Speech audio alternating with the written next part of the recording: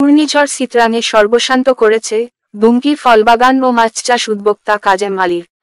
করছেছে সর্বশান্ত, ফলের বাগান, পেঁপে শাকসবজি পুকুরের মাছ সবকিছুই ক্যারে নিয়েছে ঘূর্ণিঝড় সিতরাং ক্ষতিগ্রস্ত হয়েছে প্রায় ত্রিশ থেকে বত্রিশ লাখ টাকা। পটুয়াখালীর দুমকি উপজেলার উত্তর মুরাদিয়া গ্রামের কাজেম আলী দুই একর অন্যের জমি দশ বছর মেয়াদি লিজ নিয়ে শুরু করেছিল উচ্চ ফলনশীল জাতের মালটা, কুল, পেয়ারা, কমলা ও লেবুর চাষ। ফলজ বাগানের ফাঁকে চাষ করেছিলেন দেশি বিদেশি জাতের পেঁপে, লাউ, বরবটি, লাল শাক, পালং শাক, বাঁধাকপি, ফুলকপি, ধনিয়া ও বেগুন। তিনটি বড় পুকুর খনন করে দেয় লক্ষাধিক দেশি জাতের শিং বুলিশা ট্যাংরা ও সাদা কার্প জাতীয় মাছ চাষ করেছিলেন। দশ থেকে বারো লক্ষাধিক টাকা পুঁজি বিনিয়োগ করে গড়ে তুলেছিলেন এ সকল খামার। কিন্তু ঘূর্ণিঝড় সিত্রানের কারণে তার ত্রিশ লাখ টাকার ক্ষয়ক্ষতি হয়েছে।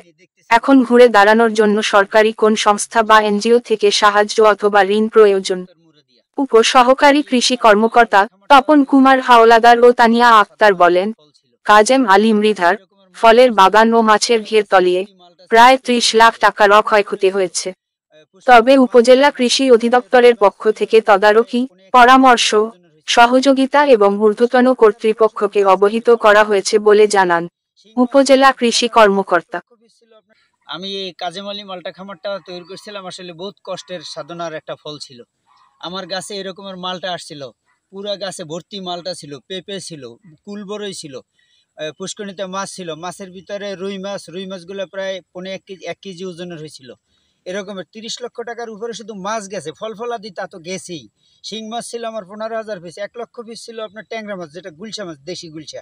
তারপরে এগুলো এখন কিছুই নাই পানির সাথে জলোচ্ছ্বাস আইসা সবগুলো বাসায় নিয়ে গেছে।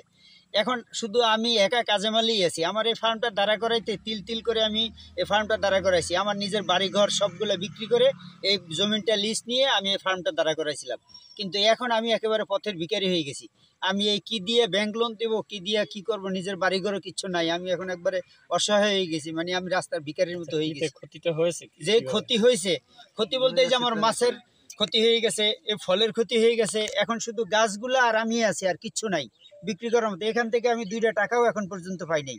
মহিবুল্লাহ মোল্লা কাজেম আলী মির্জা ভাই আমার কাছ থেকে এই জমিটা কৃষি কাজ করার জন্য দশ বছরের লিজ নিছে এবং সে অনেক ধরনের গাছগাছালি, কমলা, মালটা বড়ই পেঁপে, এগুলোতে ভালো ফল তৈরি করছিল এবং প্রায় কয়েক লক্ষ দিক টাকা মাছ চাষ করছে। আমরা খুব খুশি দেখছিলাম তার মার্চ দেখে।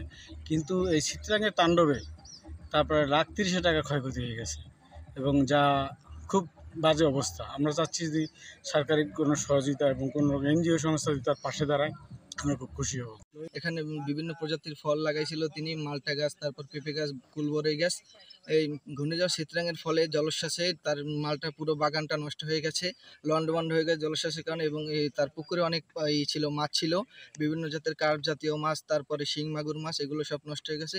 প্রায় তিরিশ লক্ষ টাকার মাছের এখানে ক্ষতি হয়েছে। এখানে আহ, কাজেম আলী সাহেবের আমাদের কৃষি বিভাগের পরামর্শ অনুযায়ী সেই এখানে ফল বাগান করেছেন এবং ফল বাগান করেছে, এর সাথে মাছের চাষও করেছেন। সেখানে মৎস্য এবং এই ফল বাগানে যে ক্ষতি হয়েছে, বন্যার চিত্রাঙ্গের প্রভাবে এই খাটো কমসমান পর্যন্ত পানি হয়ে গেছে এখানে।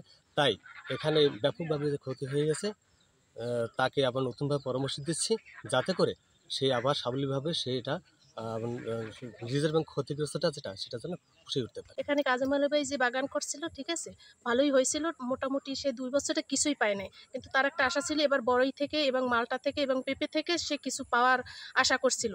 হঠাৎ করে এই ঘূর্ণিঝড় শীতেঙ্গের প্রভাবে সব কিছু নষ্ট হয়ে গেছে। এখন